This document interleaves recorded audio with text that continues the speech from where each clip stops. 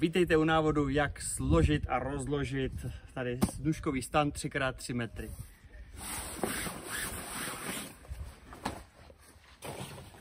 V jednom člověku to jde, ve dvou je to jednodušší. Já vám ukážu variantu v jednom člověku. Chytnu za tady tu tyčku a držím to tak, aby na zemi byla jenom ta protější diagonální druhá noha.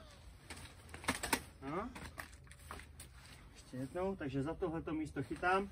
Chytnu tak, aby ta protější diagonální noha byla ve vzduchu a tím pádem zbylý všechny tři nohy se mohly od sebe roztahovat. Když je to v této fázi, vlezu dovnitř a nadzvednu přímo ten spodek, ten střed, jo? Takže vlezu dovnitř, chytnu tady tu část, nadzvednu, nadzvednu všechny nohy a teď zatímco nadlehčuju pořád stánek, aby mi nesjel dolů, jo? takže pořád nadlehčuju, tak jdu k tady k jedné noze a zatlačím tuhle tu část nahoru. Dokud to necvakne. To samý udělám u dalších nohou.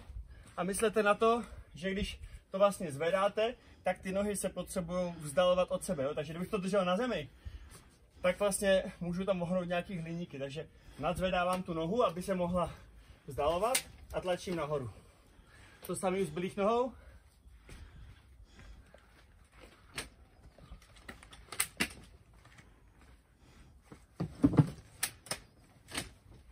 Tak. Zkontroluji, že mám všude správně.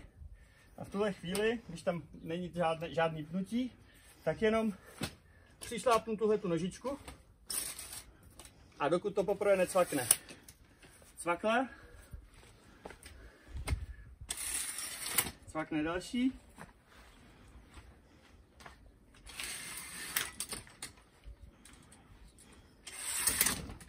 Tak, samozřejmě, když mám nějaké nerovnosti, tak tady můžu tuhle nohu vysunout víc. Myslím, že maximum je pět dírek venku. Raz, dva, tři, čtyři. Když bych dal pátou, tak si myslím, že už mi to vyjede ven. Jo? Tak teď doufám, že v rámci videa se dostaneme ještě zpátky. Super, jo? Takže maximálně raz, dva, tři, čtyři nohy venku. Což i odpovídá tomu, když tam budu dávat bočnice a měl bych méně než čtyři dírky, tak už mi do, dole eh, bude ta bočnice ležet na zemi a může se špinit. A když by pršelo, tak to není úplně dobrý, jo? Takže už si s tím hnout, tak potřebuju. Jsem spokojený. Dáme bočnice.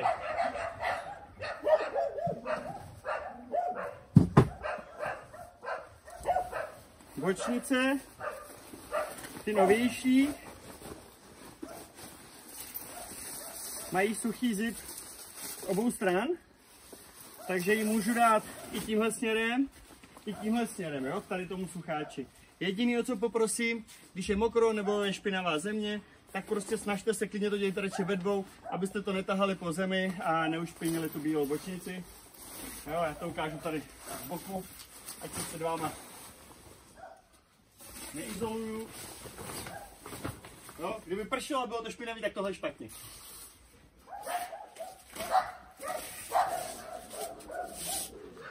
Tak.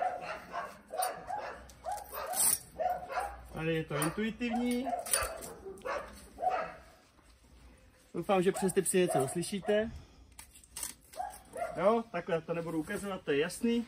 Ale co je zásadní? Vždycky preventivně, vždycky si berte sebou závaží.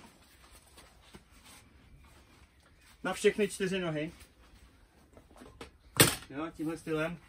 A ono se to nezdá, ale celý den nemusí foukat a zažil jsem to, že jeden jediný poryv byl na, na horách a ten stánek letěl pět metrů, málem někoho zabil. Pomenu to, že se může zlomit noha, docela snadno se to pak urve. To byste nechtěli platit, že jo? takže vždycky tam dejte ty závaží a na všechny čtyři nohy. A když fakt hodně fouká, tak ani to závaží už to prostě nemusí udržet, pak už se to musí natahovat nějaký provazy. Jo? Když je sebou nemáte, tak je rozumnější povolit, ať ten vzduch může ven, třeba, že, že, že utáhnete jenom horní dva uh, tady uh, popruhy a spodkem to může foukat, nebo hod prostě sundejte bočnice, ať je ten stánek jenom takhle profukovatelný a neopírá se do něj ten uh, vítr tolik. Teď si ukážeme, jak to složíme. A, jsem udělal špatně, zaprvé jsem to nedám. Takže zase ideálně tohle ve dvou, abyste bočnici neušpinili.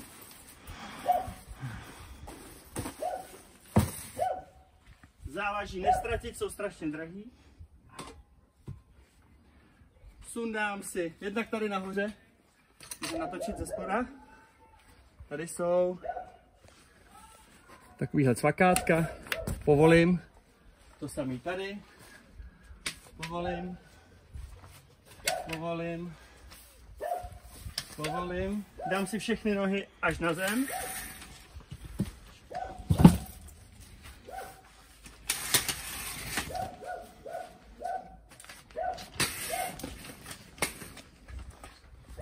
Poslední noha. A všimněte si, že vždycky radši jako nadzvedávám, kdyby tam byla, kdyby bylo nějaký pnutí, tak aby ta noha se mohla narovnat tak, jak potřebuje, protože jak ho budeme skládat, tak ty nohy budou potřebovat jít k sobě. Jo? To máš sem. Tak. A teď, když půjdeme tady ke mně, tak tady já, tady já udělám to, že si to chytnu tady nahoře. Tak a teď se podívejte schválně zvenku zase, co to udělá, když to nadzvednu. Všechny nožičky jdou k sobě. No.